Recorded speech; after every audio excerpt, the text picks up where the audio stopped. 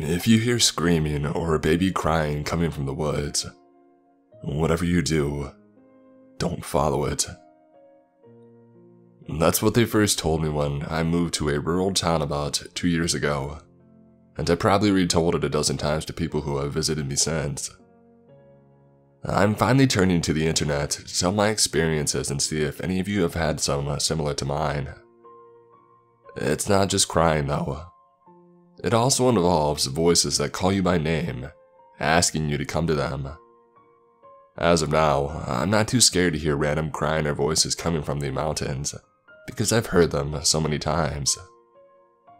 There are certain sounds that come from the wilderness that scare me to death, however, because they usually signal of something bad to happen.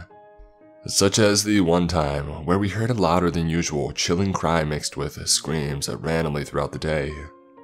And that same night, uh, there were two goats on one of the farms that were found uh, mutilated and torn to pieces at uh, the edge of the woods. There were separate occasions of this same sounding cry, and similar things had occurred. There are only about 10 families that live in this area, and they are a tight knit community. So, when I first moved in two years ago, they tended to not like me, but have grown to accept me. They mainly don't like new people moving into the area, or tourists stopping by because uh, that usually causes the crying from the woods to grow louder or the tourists end up going missing because they didn't listen to us when we told them not to follow the sounds. We rarely get tourists now compared to when I first moved here. And since so many people have gone missing in the past, the government has blocked off the forest with a large fence about a year ago. It's still public land that you can go into, but they put up the fence to try and dissuade people from doing so. The search and rescue has also put up warning signs saying, dangerous, enter at your own risk. And They never specified why, and I'm never going to tell you guys where my town is located because I know people are going to be stupid enough to try and test this story out.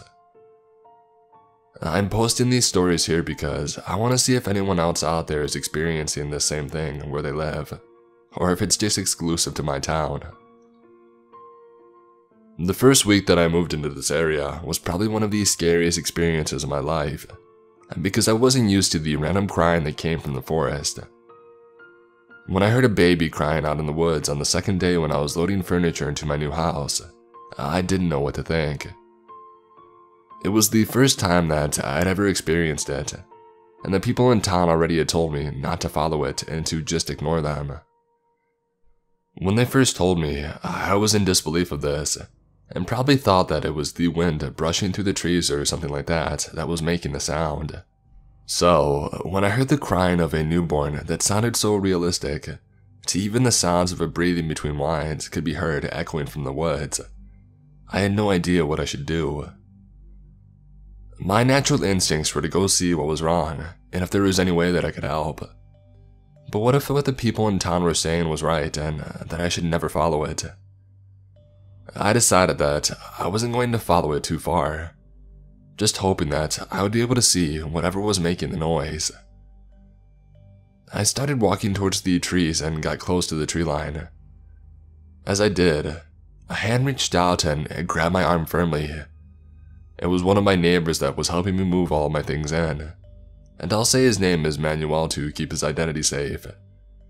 He then told me, I knew you were going to try that at one point. Uh, what if there's someone over there that needs our help? I asked as I pulled my arm away. Look here. No one in this town knows what makes those sounds, and everyone that finds out, die. Don't go over there. Simple as that. He replied me as he tapped me on the shoulder, and they continued to carry boxes into my house. I tried to ask him more questions about it, but he was always hesitant to talk about it, and avoided the conversation the best that he could. He finally got annoyed by my constant pestering that he responded saying, I've told you everything you need to know about those sounds. Whatever or wherever they come from can hear what we are saying. And supposedly, if you think or talk about it too much, you'll be driven mad as that allows it to access your thoughts. I stopped asking him questions after that, and we now get along great together. The main thing that I got from what he said was that as long as you follow the main rule of not following them, you'll be fine. There are rare occasions, however, like with the goats that have died where the thing comes out of the forest. Very few while I've lived here have gone missing, but I've heard of many stories from the townspeople, of hikers who have never come back and even people from search and rescue that have gone missing. It makes sense why the Forest Service put up the sign saying, dangerous, enter at your own risk, on the fence. Because how are you supposed to try and find someone out there when there is a random crying and even voices calling us by a name from the woods? I have a particular story that comes the closest to describing whatever is out there, and it came from someone from search and rescue that made it out. It's the closest thing we have to a description of what it looks like, but I'll save that for another time. Due to that, I don't want to have my thoughts be thinking about that thing for an extended period of time, and you know why. I will finish this requesting that if you ever do hear people calling you from the woods or a baby crying, even if they sound like family, don't follow them. Always be aware of people that are around you because the thing in the woods making the sound is often known to imitate the same voices of loved ones. I will say again one more time to ingrain it into your skull. Just ignore them and act like nothing is wrong. Since the last time that I uploaded the first part of the story, I had gotten a few comments and replies of people telling me what the noises could be caused by, and the top two were SCP-939, with its nickname being With Many Voices. And for those who don't know what an SCP is, it's a supposed thing that needs to be secured, and then contained and lastly protected thus the nickname of SCP, because they are highly dangerous. The other one was that skinwalkers are also able to imitate human voices and trick people by luring them with a loved one's voice. However, it is said that only extremely skilled skinwalkers are able to do this. That means it's very rare to come across this trait in them. And so, most encounters just describe seeing them but never actually hearing loved ones' voices coming from it. I would like to thank you all for your concerns and interest in what I have to say, but I must warn you ahead of time. Do not think about this thing for an extended period of time, or else it'll drive you mad. To actually write all of this out for you, I have to take about 30 minute breaks for every 20 minutes I'm able to write. If I try to push past those 20 minutes, then random images flash through my head of myself dying in gruesome ways. So I beg you that when you finish reading this, please go listen to music or watch your favorite TV show, but whatever you do, do not keep thinking about it. After writing the first post of this, I found random scratches in the back of my house and have heard eerie knocking on my window during the night. I never go investigate, but just rather sleep through them. However, it's worth the risk of that thing coming to get me because the local government has tried to cover it up. But I think everyone should be warned not to follow those sounds. Anyway, I'm going to tell you of a story that I first heard when I came to town from one of the families here who I'll call the Jeffreys. So, one evening, they were having a barbecue in their backyard, and there were about six of them altogether. They had two children, with the younger one being only a year old, while the other one was around five. It was later in the evening when the five year old went looking for cool shaped rocks, as in the words of the boy. So while he's doing this, the 5-year-old's mother is keeping an eye on him. But the 1-year-old baby begins to cry, who is being held by her father-in-law. So she quickly rushes over to help her baby, and forgets about the 5-year-old who is now ever so slowly wandering away. That's when they hear the voices whisper from the woods, calling out to the boy saying something similar to this in a child's voice. Johnny, come play with me. I have plenty of cool rocks for you over here. The boy's father jumped up as he heard this faint whisper, and immediately screams for his son to come back. The thing then copies the father's voice yelling the exact same phrase. Johnny, come back. Don't follow the voice. At this point, everyone is freaking out looking for the boy, but staying relatively close so no one else would end up missing. They heard crying, but no one knew what to do because they knew the rule of never following it but their child was now lost and they had no other choice. So the father of the boy runs inside and comes back out with a 12 gauge shotgun. So they follow the cries behind him as they edge closer to the woods, calling out for the boy. As they get closer, they come upon a tree where it seems the crying is coming from. The father takes the lead and jumps to the other side of it to find his son huddled up, grabbing the tree for dear life. Johnny opened his trembling mouth, muttering, Dad, uh, there's something over there calling for me. I can still see it. The father swiftly turned his head to where his son was looking but saw nothing out of place. Here, son, uh, let's take you back to the house. You'll be safe there. The father said as he handed his shotgun to his own father and he picked up his son. Dad, it's following us. Johnny said as he squeezed his father's arms tightly. Don't look at it. Just tell me about your favorite food. The father replied in a worried but loving manner. It looks like mommy.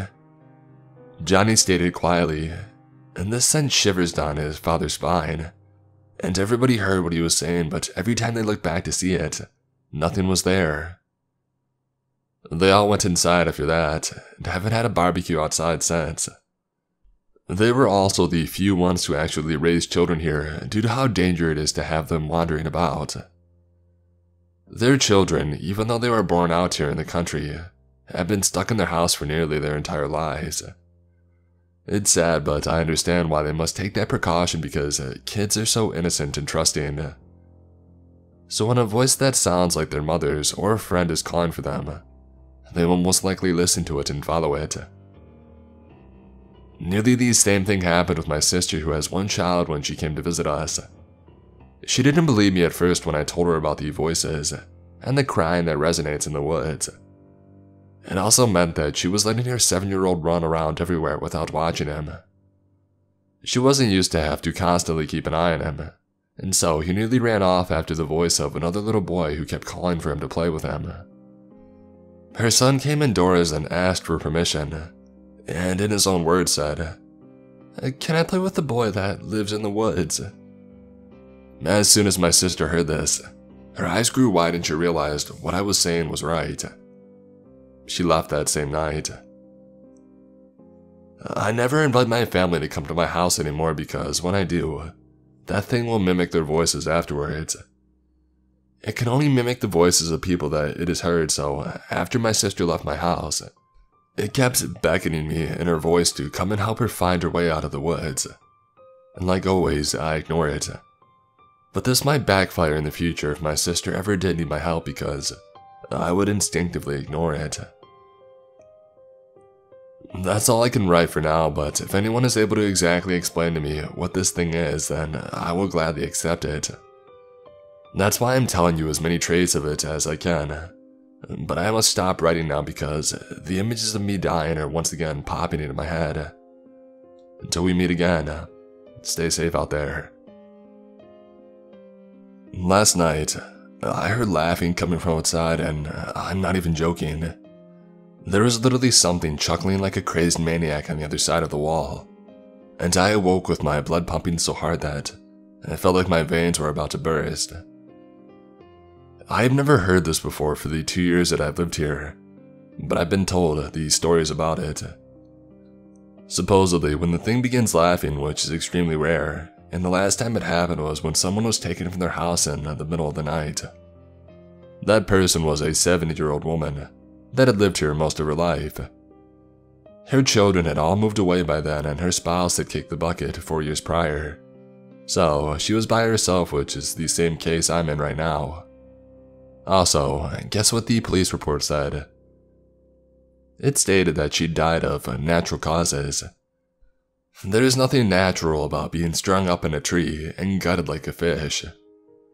That's how the people from town explained it to me, and they were very close to her, so when they heard about the cover up, they went to complain about it.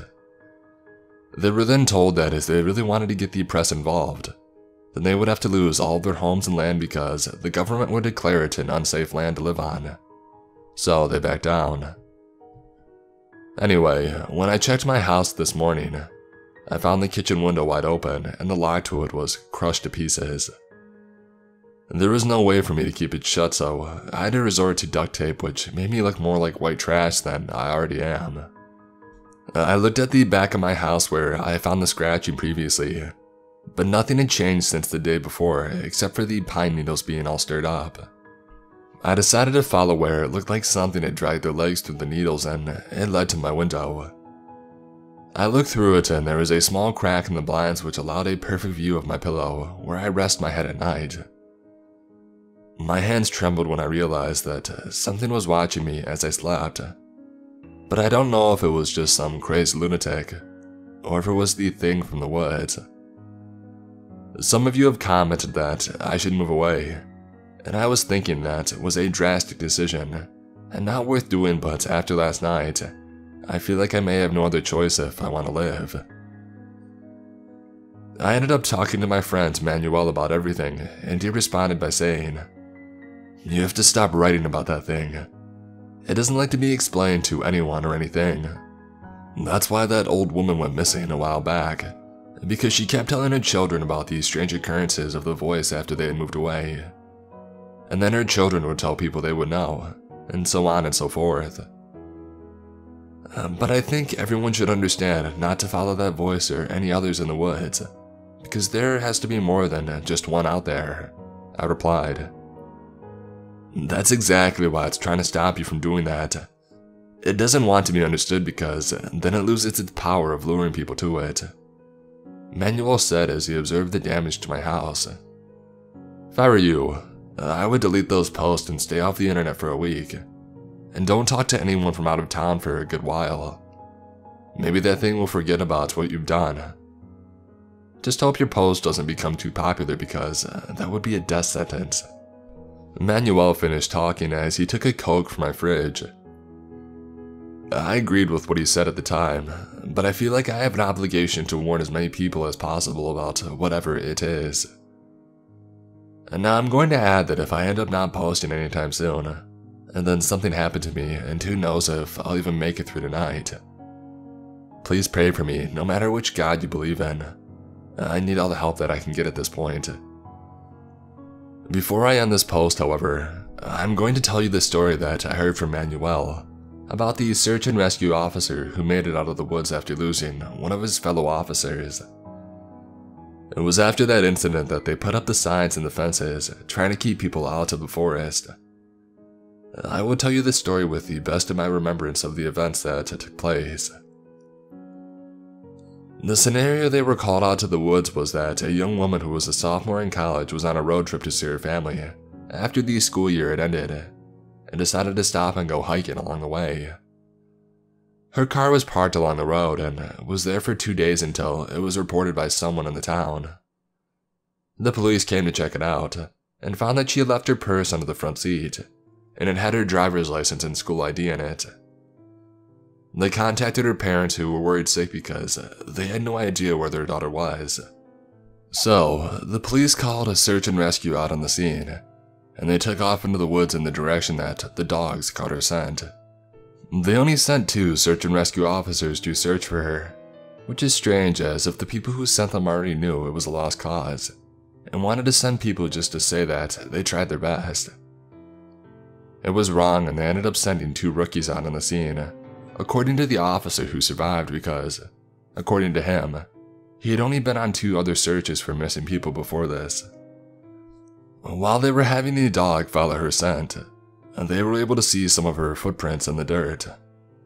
This brightened up their spirits because they knew which direction they were headed in. However, as they continued on, they noticed that the footsteps began to become uneven and sink deeper into the ground, as if she was running. They looked around to see if she was chased by a predator such as a bear because they are also common in this area, but there were no other tracks shown. The ground was also not disturbed other than her footprints. The rescue officers were wondering what had caused her to run so frantically, and that's when the dog yanked on the leash as it barked at a nearby tree. They thought that they must be close due to the dog's reaction, but they called out and no one replied back except for a faint whimper. The whimpering slowly turned to a blood curdling screaming, and the officers looked ahead and saw the woman on her hands and knees crying on the ground. The officer's partner ran forward to help her while he stayed back, held onto the dog that was still barking furiously at her. What's wrong, boy? You found her? The one officer said to the dog, as the dog's ears dropped down, and out of nowhere it yanks on the leash, which is loosely held by the rescue officer, allowing him to escape. The dog ran back to where they came from in a dead out sprint. The officer called out for him to come back and blew the dog whistle, but he never did. He soon gave up on trying to call him back, as he heard laughing, and as he turned his head, he noticed that the girl was now holding his colleague by the neck. Put him down, we're here to help you. The laughing only grew worse as he watched his colleague's face turn purple, before she looked at him with a big grin on her face. The officer just ran, uh, leaving his partner behind while screaming on his radio that he needed backup, but no one ever responded. Behind him, he could hear the crunching and popping of breaking bones. He was able to escape luckily and got back to his search and rescue work truck. He drove like a madman out of there, and no one believed his story. He lost his job because he had abandoned his partner, and his partner's body was never found. He told Manuel the story, and then Manuel told me. He told the people in this town because they were the only ones who took this story seriously, while the others would mock him and call him a coward. That description of it and the other story I told you earlier about the five year old boy who said he saw his mom looking back at him from the woods proves to me that this thing can do more than just mimic people's voices and cries. It can also shapeshift, which makes me believe it's either a skinwalker or something that's never been heard of before. Whatever it is, though, it can kill. All I know is that it's getting into my head and ravaging my thoughts like a crazed animal consuming a carcass. Again, pray for me. I'm going to stay tonight at Manuel's house because I just don't feel safe in my own home. If I write again, then it means that I made it through the night. But if I don't, then consider this my last testament. It's been two days since I posted my last update, and I wish I could go back and delete this entire thing. It was a mistake to ever think about posting it, and I knew that there would be consequences from doing so, but I thought that they would have happened to me. I told you all that I was going to stay the night with Manuel, and I did. Trying to see if whatever it was would stay away because uh, there was more than one person. But that was a grave mistake, and I would rather die than live with this guilt on my shoulders. When I went to Manuel's house, I slept on the couch because he's not used to guests, so he only has one bed, and I'm not about to sleep beside him. He made me leave my laptop and phone back at my house because he wanted to try and keep that thing from coming after me the best that he could. His house was an old mobile home trailer that had been there so long that there was no way it could have been moved again without some major repairs. Anyway, we hung out and I felt like a high schooler again as we watched movies and we ate junk food. I dozed off to sleep during one of the later movies and Manuel left me on the couch as he went to sleep in his own bed. Hours go by and I soon can hear something very lightly brushing the side of the trailer house. My head bobbed up from the couch and I swiftly grabbed a kitchen knife and slowly gazed out of the window. In the darkness, I saw two yellow eyes stare at me. My heart kicked into overdrive as it came closer to the mobile home, and its eyes seemed to drop with every step until whatever it was stepped into the light that Manuel had left on outside. It was just a cat, and I blew a sigh of relief until I remembered that no one had a cat that lived in the town. At least not since the old woman had died, and her cat was found hairless on the floor in her home that she was dragged out of, as if something had skinned it. I kept my eyes on the cat while trying my best to avoid his gaze. Just barely peeking through the side of the window, I saw the cat's skin begin to tear apart as it grew larger in size and indescribable hideousness. The skin was ragged and torn, and it was no longer a cat but an eerie looking man hunched over on all fours. I watched in horror as he crawled to Manuel's bedroom window, and it sounded like it was clacking its teeth together I jumped back from the window and its head darted to where I was watching it from. I wanted to warn Manuel, but I felt like if I did, we would both die. So I ran to a nearby closet, and I hid in the back of it, covering myself with the jackets and shirts that dangled down from their hangers. From outside, I could hear it breaking the lock to the window, probably the same way that it broke mine. Soon, I heard the creak of the window as it slowly opened, and I was trying my best to not think about it. I tried to think about family members, friends, and my old high school days, as its crawling creaked the old, fake wooden floor. I could hear it edge closer to where I was, with it sniffing and the occasional snort. It started to make a sound from the back of its throat that sounded like nothing I had ever heard before and since. My body shook due to how aggressive the sound waves coming from it were. The closet door began to slowly creak open, and I was on the verge of crying, wishing that I never wrote those posts. It started to inhumanly chuckle as it could sense my fear, while its disfigured hand grabbed my ankle with such a powerful grip. My bone felt like it could snap at any moment. It was then that Manuel slammed open his bedroom door with a rifle in his hand. Go back to where you came from. He screamed as he fired off rounds into the side of it. It let go of my ankle as its head twisted around 360 degrees to where Manuel stood at his bedroom door. It sat there gazing at him as he fired shot after shot into it, but it never moved. Manuel soon ran out of ammunition, and the thing just sat there staring him down. It was as if they were having a staring contest. Manuel started to turn around to grab his handheld pistol, and that's when it pounced on him with such swiftness it was as if it teleported. Run, forget me! Manuel screamed at me as the thing began to dig its fingers into Manuel's back as smooth as butter. I threw the knife at it as I ran for the door, but it seemed as if it didn't care for me anymore. As soon as I got out of the mobile home, I didn't know what to do, so I hopped into my car and I started the engine. And I swerved onto the road driving as fast as I could until I saw the Jeffries home off to the side. And I pulled up into their driveway screaming and calling for them to come out. But then remembered that they wouldn't respond to that, so uh, I banged on their door. Mr. Jeffrey opened it with one hand and held a shotgun in the other. I explained to him everything that went down, and told him that we needed to go back and help Manuel.